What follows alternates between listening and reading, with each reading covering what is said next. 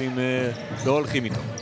וורקמן לבורג, בורג לשלוש, איתן בורג, איזו התקדמות הוא עושה ככל שהעונה הזו ממשיכה להלאה.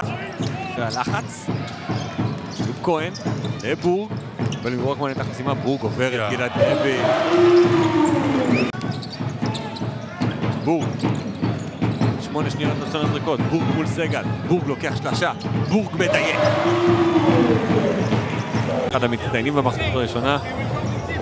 גם איתן בורג עם מחצית אה, טובה בסך הכל שמונה. את הכדור הזה לאיתן בורג. שניות אחרונות במחצית הראשונה, בורג עם החדירה על קולשו ביד שמאל עם עוד שתיים לאיתן בורג. הרצליה בתמונה בגלל זכות לגול מתפרצת.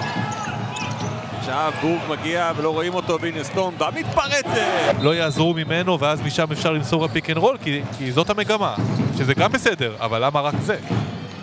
עכשיו בורג חודר לסל, אף אחד לא עוצר אותו, השימוש שלו ביד שמאל, היד החלשה.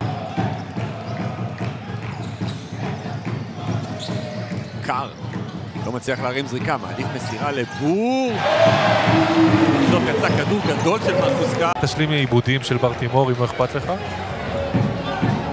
אה, סליחה, 12. נותן את זה לבורג. מול אה, חברו פריצקי. בורג עובר אותו, ובורג ביד שמאל. איזה דקות של איתן בורג. רעיון לא רע נגד הטיפול ההגנתי של הרצליה על ה side pick and roll, על ה ice הזה. אנדריאן בנקס, הנה שיא קריירה חדש לאיתן בורג. קצת, אתה יודע, כבר לא נעים שאתה מראיין רק את בורג בסיומי משחקים פה. לא תשכח מזה, אנחנו משחקים. משהו אחר. אנחנו בארבע. ובורג אומר, אוקיי, ארבע, סבבה, קיבלתי, הנה ארבע בשבילך.